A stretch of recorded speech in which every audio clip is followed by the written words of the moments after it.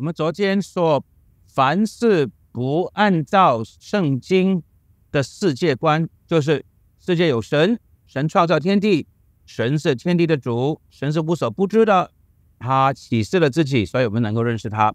凡是不按照圣经的世界观和认识观所建立的哲学，肯定是抽象的，是空洞的。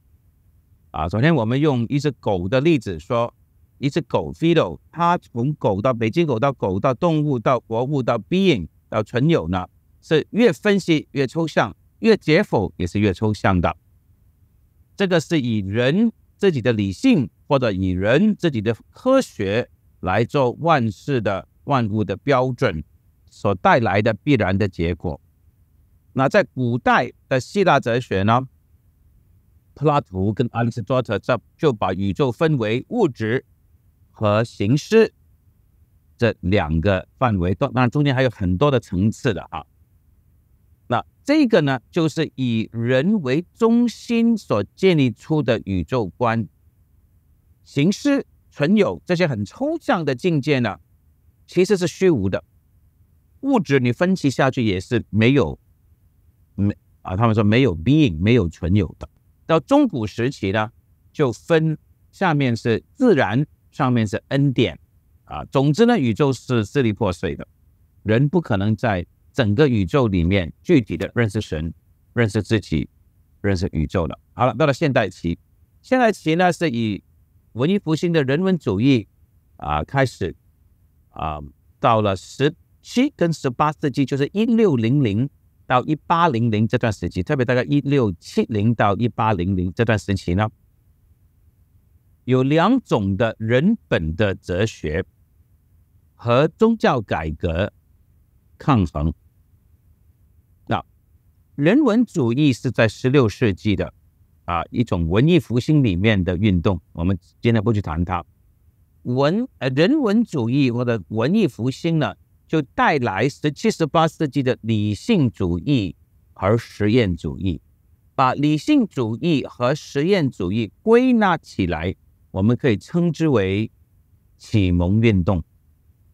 再说一次啊，十六世纪有文艺复兴的人文主义，十七、十八、十七世世纪末到十八世纪啊，有启蒙运动。启蒙运动里面最重要的两种的哲学就是理性主义，以法国的笛卡尔为领袖，和实验主义以英国的洛克，然后后来苏格兰的休谟。作为代表的人物，理性主义和实验主义呢，都是以人为中心、以人为知识的标准所建立的哲学，或者说建立的知识论，记得吗？什么是基督知识论？就是我凭什么知道我所知道的？理性主义，理性主义，笛卡尔。其实呢，和古希腊的柏拉图呢是换汤不换药。笛卡尔说：“我们的理性，我们的脑袋里面呢，本来就存在一大堆的知识的，一大堆的清楚的观念 （discrete ideas），时间、数目、形状、重量、颜色等等。”所以，当我们看到一个瓶子的时候呢，其实我们是看到这些的观念、形状啊、物质、重量啊、容量。我们看啊，数目是一个啊。我们看到这个瓶子的时候，其实我们是看到这些观念的一个样品。所以，你所以后来 Hobbes 的哦，霍伯是吧？叫做霍霍布斯，他就说是了，宇宙里面所有东西呢，都归于一的。归什么？归这些观念啊啊！其实呢，你真正看到的不是瓶子，是瓶子所代表那些的观念、形状啊、颜色啊等等。所以其实天上没有新的事情的，就好像 feed 这条狗呢，归纳到最后是活物，就没东西了啊。同样的，笛卡尔认为呢，其实人的知识是源自自己理性里面一些的观念。所以，什么是正确的知识呢？就是那些符合自己原有的那些观念的，就是正确的知识。理性主义啊。那中古时期也有这类的理性主义的啊，安瑟伦的啊证明神的存在就是这一类的理性主义。你要听一次吗？你可以证明神的存在，你知道吗？啊，无从无生有的啊，很灵光的。听完之后，哇，这么灵光的，这么厉害的。好，来一次，这个是理性主义中古时代版本。现在，请你想象宇宙里面有一个 being，有一个活物，一个存有者。你不可能想象有另外一个存有者比他更伟大的。Conceive of a being greater than which nothing can be conceived. OK，你想象了哈？你你脑子里面有一个存有者，宇宙里面没有任何的存有比它更大的。好，这个第一步。第二。好了，现在这个存有者就是宇宙里面没有一个比他更可以被想象为更伟大的存有者呢。现在存在在你的思想中了。那第二步，第三，假如这个存有者就是宇宙里面有别的存有者比他可以想象为更伟大，这个存有者呢，只是存在在你的理性，而不存在在外界的话呢？它就不是那个宇宙里面没有一个另外一个传有物可以被想象为比它更伟大的那个最伟大的传传有物喽。这是第第三点，对不对？第二点是这个存有物存在在你的脑袋里。第三就是，假如它不存在在外界的话，它就不是一个宇宙里面没有一个存有比它更伟大的最伟大的存有物了。这第三三 A，因为。宇宙里面最伟大的就是没有一个东西可以比它想象为更伟大的存有物呢，应该是又存在在你的思想，也存在在外界的咯。三 A，第四点，因此，宇宙里面存在在一个宇啊存有物，就是宇宙里面有一个比它想象为更伟大那个最伟大的存有物呢，同时是存在在你的思想，也存在在外界的。这第四，第五。因此，神存在，搞通了没有？我再来一次啊，变魔术这样子的，把上帝变了出来，对不对？第一，想象一个存有，宇宙里面没有一个存有物可以被想象为比它更伟大的。你想一想啊，有一个这么伟大，伟大到没有一个东西可以被想象为比它更伟大的。第二，现在这个伟大的，没有一个东西可以被想象为更伟大的。这个存有就存在在你的思想里了。第三，存在你思想里啊，不存在外界，只是在你思想，不在外界就不是最伟大喽。因为最伟大，没有一个东西可以被想象为更伟大的、最伟大的存有呢，肯定是又在你思想又在外界才叫做最伟大吗？第四，因此那个不可能被想象为更伟大、最伟大那个存有物呢，肯定又在你思想又在在外界的。第四，因此第五。神存在，就是那个被想象不可能被想象为有别的东西更比它更伟大那个呢，是存在的，又在你的思想里，也在外界，灵光吗？啊，最后一点，神存在。第四点是那个又存在在你的心里面，又存在外界那个，就是那个宇宙里面。没有一个东西可以被想象为比它更伟大的那个存有物呢，是存在的，在你的理性也在外界。因为三 A 是，假如它只是存在你的脑袋，不存在外界，它就不是最伟大的，不是被想象为最伟大。没有一个东西可以被想象为比它更伟大的，一定是里外都有的，才叫做没有一个东西可以被想象为比它更伟大。所以第四，那个。没有没有什么东西可以被想象比更伟大的那个东西呢？是存在的，在你的理性也在外界，就是上帝喽。所以第五，上帝存在，有说服力吗？啊，在今天的后现代是没有说服力的，啊，在十八世纪是有说服力的，十七世纪有说服力的。假如你相信人的理性是决定什么事情存在不存在的话。这个就很合理的，也就是说，假如你认为人的理性取代上帝作为决定什么是真理、什么是真实的话，这这个论点、这个论据是是合理的。首先，你要假设人取代了上帝，人的理性取代了上帝。那笛卡尔的理性主义呢，不完全是这一种啊，但是呢，换汤不换药，你想到的东西是存在的。好，实验主义是反过来的，实验主义就是今天苹果掉下来，昨天苹果掉下来，前天苹果掉下来，结论是有三天有三只苹果掉下来，而不是说有万有引力啊，因为你只看到外表的印象。而你不可以因此而做些结论，说宇宙里面有定律、有因果关系。刚才我们讲这个是洛克到休谟，洛克说你只看到外表的印象，然后呢，休谟说是咯，所以根本没有因果关系。宇宙里面东西都是偶然的啊，科学不可能去做一些定律的。康德就把这两派合起来了。好，没有讲康德的钱了。我想我们在神学的书本里面常常会碰到一个词，就是自然神论。那自然神论不是自然神学，也不是自然启示，这三个根本是完全没有关系的。啊，什么叫自然神论呢？自然神论英文是 deism，D-E-I-S-M。自然神论的意思就是说，当理性主义啊，人的理性抬头了，要推翻上帝的权威，当理性主义。进到教会里面，他就建立了一套的神学，叫做自然神论 （Natural Religion）。自然宗教、自然神论，Dism。自然神论认为，上帝创造了世界跟人类。完了。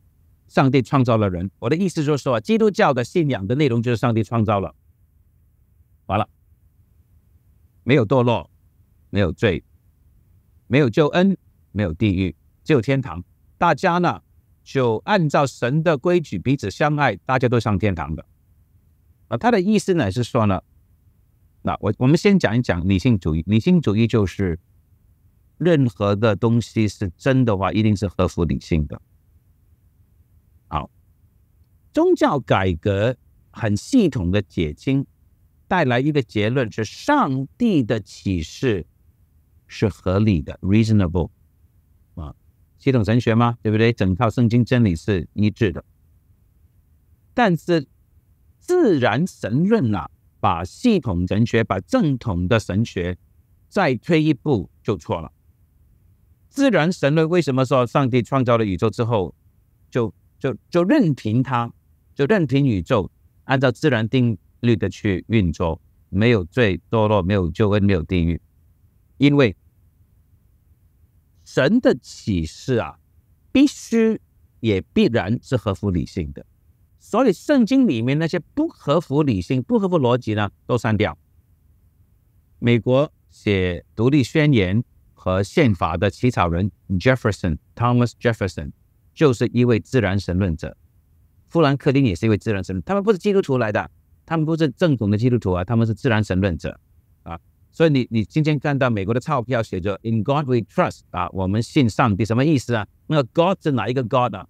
是圣经的上帝呢，还是自然神论那个不会行神迹的上帝的启示必然要服在逻辑的规律之下的那个上帝呢？嘿，没有说清楚。美国就是偏偏不说清楚，因为这个国家是自然神论者和基督徒。啊，合作起家的，那自然神论很重要的啊，因为他就把某一些教会的牧师、传道人、神学家呢，就带进去理性主义，就是敬拜理性啊，理性为偶像这个死胡同里面去了。理性主义是一七一零年代开始的，那刚好呢，清教徒啊。也是一七一零结束的，就是说最后一位自称为新教徒的牧师呢，一七一零去世了。我们可以说，一七一零年啊，不是我说的哈啊，一七一零年呢，代表着正统的基督教信仰在西方失去了它的领导文化的地位的开始，就是一七一零年。自然神论兴起以来呢，基督教信仰就不再像宗教改革，也不再像清教徒时期，成为主导英国、欧洲、美国的文化和思想啊，嗯，那个地位失去了。啊，自然神论是一个催生者，它不是唯一的啊因素，不过它是个催生者。自然神论呢，就带来嗯。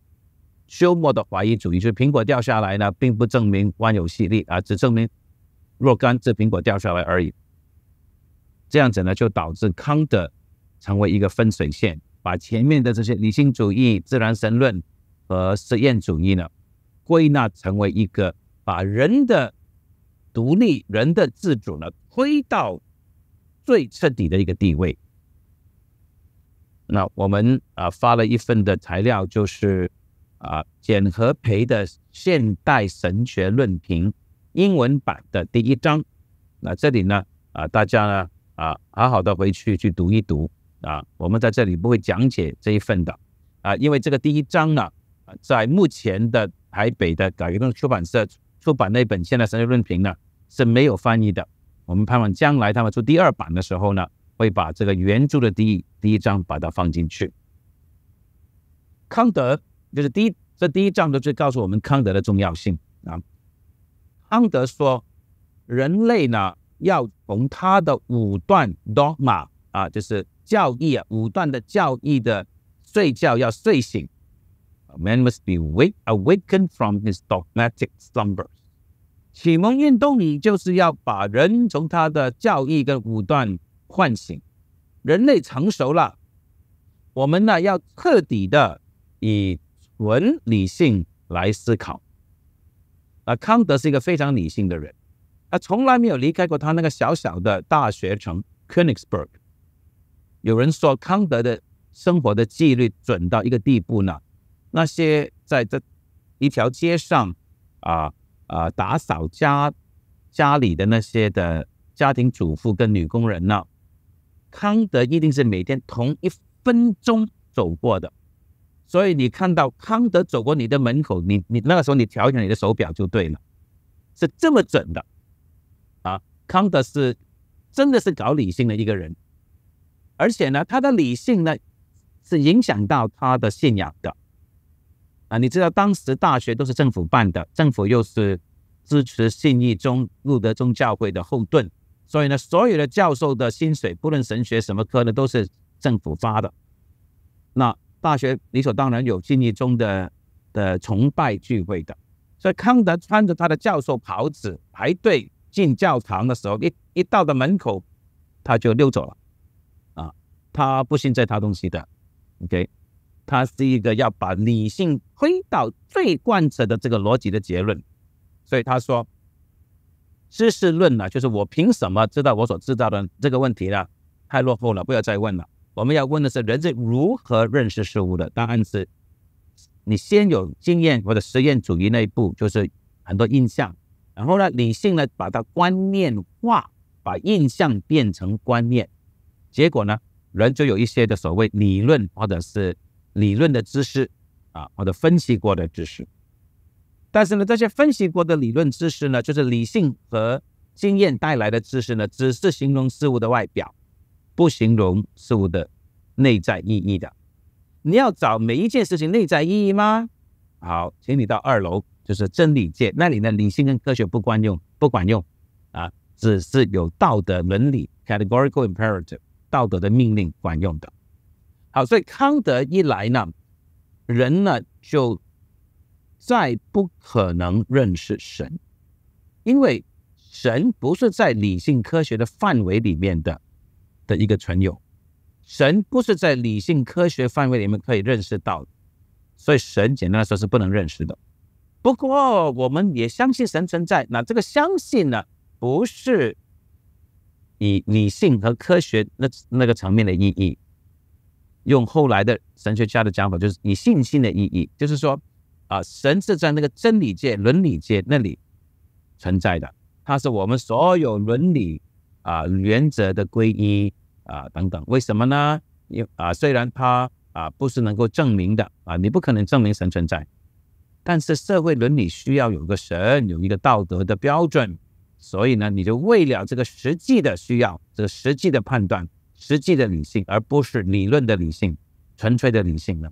你为了实际的需要，你必须相信神存在，宇宙里面有自由意志，有爱，有伦理的规则，啊啊，我们搞哲学都知道这些是假的，是神话。不过呢，不要说的这么大声。社会需要这些伦理的东西，所以康德也写这个实践理性的批判。批判的意思就是分析的意思啊，实践理性的分析，就是说人是需要有审美观的，需要有宗教伦理的。所以呢，神存在的，说他哈一张嘴讲两两两种话啊。从理性科学的那个范围来看，神是不存在的啊。但是呢。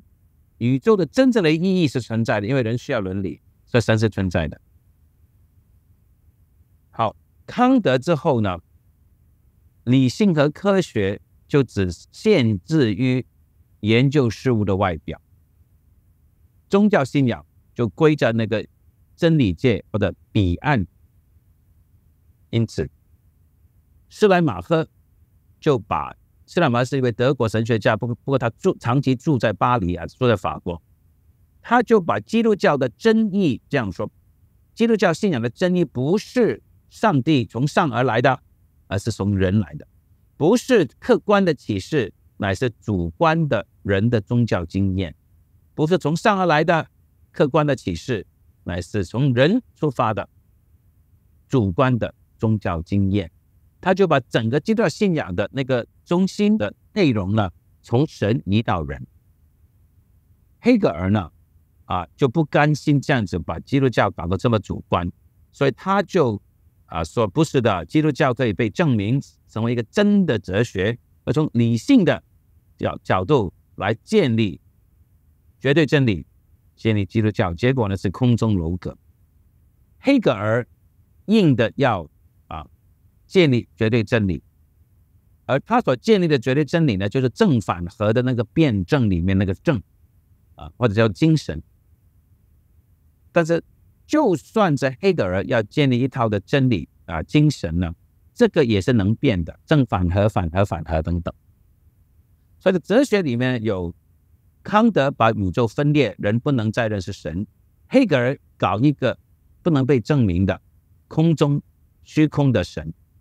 齐克果呢，就干脆向黑格尔反叛，说：“我不来这套什么绝对真理，我需要知道是现在在这个时刻，我要决定做一个真的人，我要决定面对我人生的真相，就是焦虑啊、绝望等等。好，这些是十九世纪的三个很重要的思想的派别。”带来的是现代，就是新派，就是自由派的神学，有斯莱马赫的啊，还有呢尼策尔的、哈纳克的。哈纳克呢已经到了一九零零了啊，这就是后过斯莱马赫的差不多一百年。既然呢，神这个观念只是为了我们的伦理，而不是因为它真的存在，所以基督教是什么呢？哈纳克说，就是上帝是我们的父亲，我们。四海之内皆兄弟也，彼此相爱，大家活到永恒，这个就是基督教了。所以，当我们唱那个快乐颂 （Joyful, Joyful, We Adore Thee），音乐是贝多芬写的，词呢是哈纳克这种的自由派神学家写的。上帝为父，基督为兄，所有彼此相爱都是属上帝的。啊，就是就是一种普救论啊。巴特呢是像这种的。十九世纪末的自由派的反动或者反抗，巴特说不行，不能够这么主观，我们要回到神的话里面去听他的话啊，听起来好像培林分心会，其实他那个神的话呢，是并不存在在这个具体的历史跟宇宙中的，他那个神的话是存在在一个，好像康德所说的彼岸真理界。或者存在主义的那个一刻那里的，下一节我们继续讲啊，巴特，然后二十世纪的神学。